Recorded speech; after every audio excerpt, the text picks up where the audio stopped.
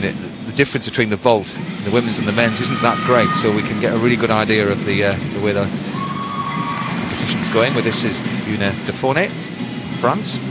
Wonderful bar worker, Christine. She is, and she's a little bit of a dark horse. She could come through. Look at this combination. Stalder fall straight into a sky high being a somersault. We've seen her during the training do that with an extra turn up to the high bar. It's a mammoth routine, this, and she's now just getting little deductions on slack leg. But lovely double straight. Now that really was straight, that dismount. No arch, no pipe. Impressive work.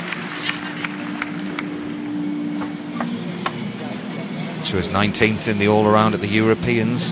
Youna coach much happier today. They came hoping to make the asymmetric bars final and she fell two or three times in qualifying. But she's strong enough that she still made this all around final. Well, she scored 14.6. That's a great start for her.